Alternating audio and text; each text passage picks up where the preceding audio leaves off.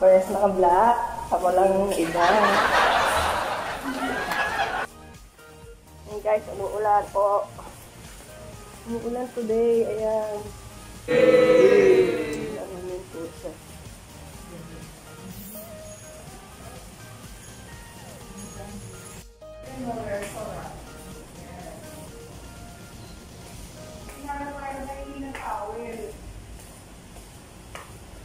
Mamaya.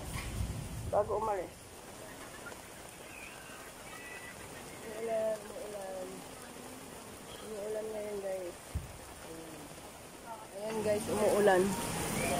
Umuulan today, maulan siya guys. Ayan. So, standby lang muna kami.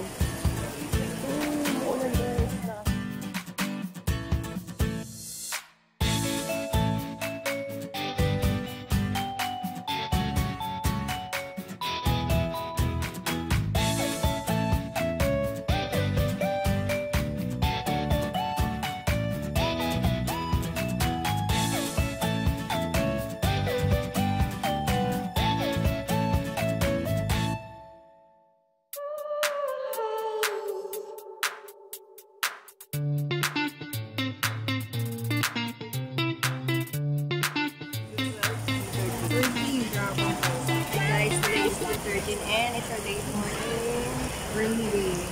Mora and it's rainy day. Oh, ayan, ulan guys, guys. Takap kami dito sa Ano background? kainan. Ay, nakaportrait tayo. Dapat lala kami kaya lang. Umulan po, ayan, ayan.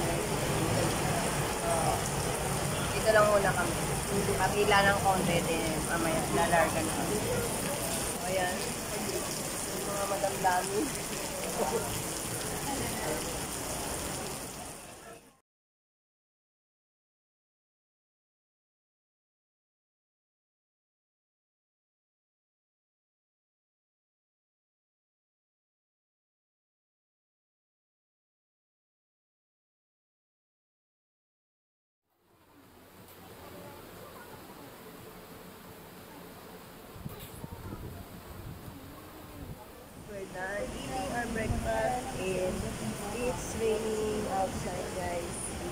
Dapat pupunta kami ng grotto. Kaya lang, we need to stay here kasi sobrang lakas ng ulan. Pupuntan kami ng ulan. Nagpapatila muna kami. Kaya, dito kami. Uh, yun. So, sana yung ulan para mag kami mamaya sa grotto. Kasi tomorrow is our flight back to Manila. Yun lang. See you later guys.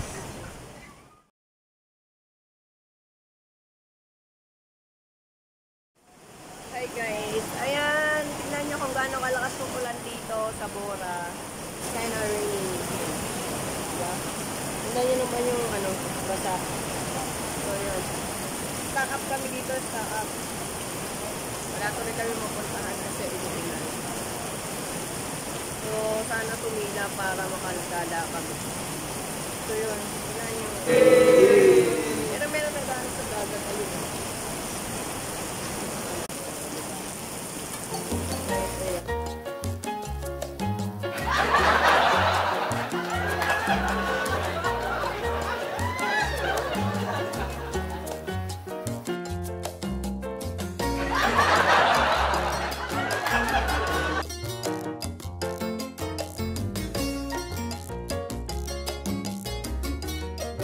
Guys, ito yung room namin. Bagong release. Ayan guys, we're here sa aming room. Bumalik na kami. Oh, 'di ba bagong linis ang taray. Oh, ayan room namin. Oh, 'di ba? Pangmalakasan, pangmayuman. 'Di ba? Ganyan dapat ang room. 'Di ba? Dito lang po kami magkakape. Andun sa plastic. Nakakateka ka ako. Eh, eh. We're on vacation. Para alam ko rin, no? Ayun nga, binigyan ka na ng sign, no? Swerte ka pa. Pinatay yung aircon. Okay lang yan. Wala kasing tao.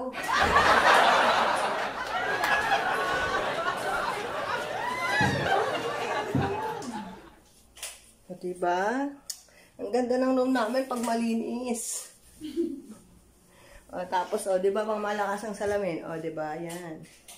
Uy, buksan na aircon.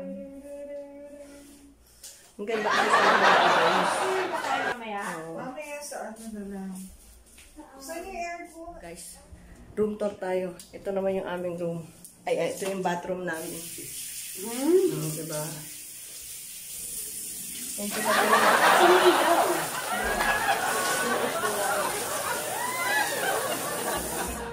Parang yung bahay namin, guys. Ganyan? Yes. Maganda? Alright. Pwedeng doon na lang ako tumira. Ganito lang yung bahay, ano, banyo namin sa bahay. mm So, yun lang ha. Yan ang aming room tour. Pag gusto niyo malaman.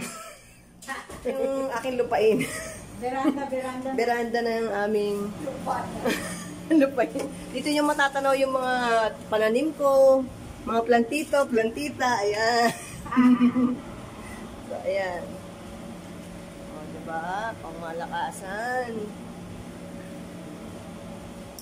So, yan ang aking room tour, guys. Dito kami nagstay for 4 days. 4 4 nights and 3 days. Ayan. Tomorrow, Gora, Gora Bells na ulit sa Manila.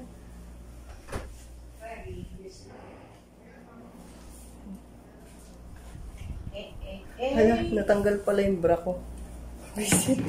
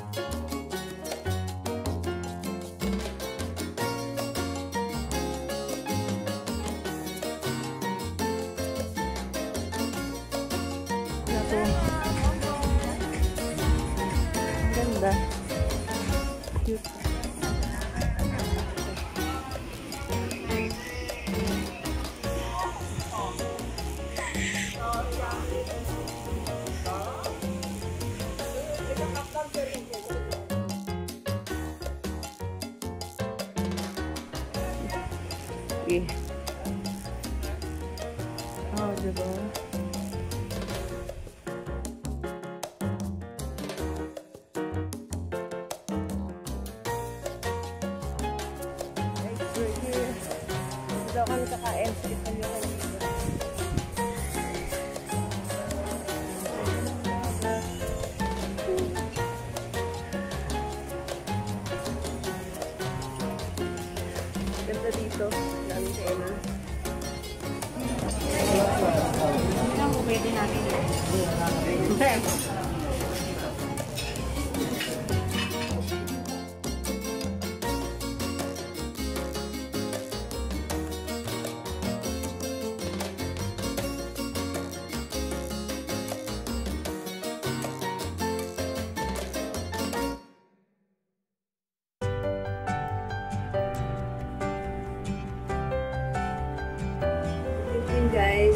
is June 13 and kababalik lang namin sa aming room. Galing kami sa labas, kumain kami kanina ng Eat All You Can. Diyan sa may hena. Hena din yung pangalan ng kinainan namin. So, ang plano kasi namin, dapat after namin mag-eat, mag-swimming kami sa roof deck nitong henan. Kaya lang medyo late na. So, hindi na kami natuloy. So, just got back from the room. So, dito na lang kami. Wala, magmuli-muli na. Kasi, flight na rin namin tomorrow. I-ready na lang yung gamit. Tapos, namili na, namili rin ako ng mga yung mga t-shirt, t-shirt, ganyan. Tapos, ah, yung magnet, ganyan pasalubong, kahit papano. may maiuwi lang sa bahay, may pasalubong. So, yon yung kinainan namin, nakakabusog, sobrang daming pagkain. So, sobrang nabusog ako, guys. Busog na busog yung bahay bata ko. Bonggang-bonggang daming pats na naman to na iuwi ko sa Manila for sure.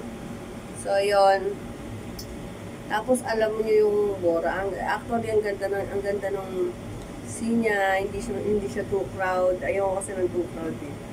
Tapos, meron dun parang magandang bar. Dami niyang ilaw. So, yun. Gusto ko sana pumunta kaya lang. You know, hindi pwede. So, dumiretso na kami ng bahay. So, yun lang for today, guys. It's our day 4. And tomorrow is our, our flight. So, nice experience here in Boracay. Sobrang nakaka-amaze yung dagat kasi malinis na siya. For me, malinis na siya. Kasi ako ayoko yung, yung crowd. So, nagagandahan naman ako. Very relaxing na yung dagat niya. So, marami naman activities dito na pwede nyong gawin. So, it depends na lang. Saka, by the way, kanina pala, ang plano talaga pala namin kanina umaga. Ganito ko lang. Ano kasi, nung umaga, diba after namin mag, mag-breakfast, dapat may pupuntahan kaming grotto.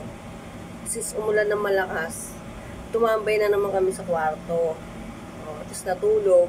Kasi nga pagising namin, oh, nag-ikot-ikot lang kami, namili kami, tapos nag-dinner kami.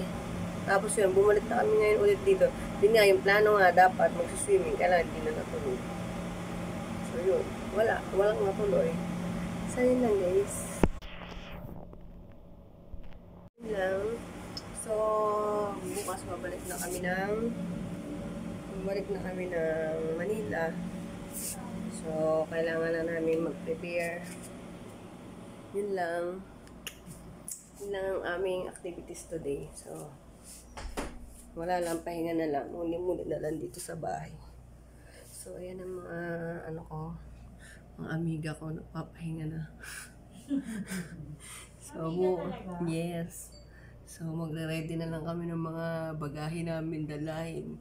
Tapos, pumili kami ng mga t-shirt, para masalubong. Para masabing punta ka ng Bora.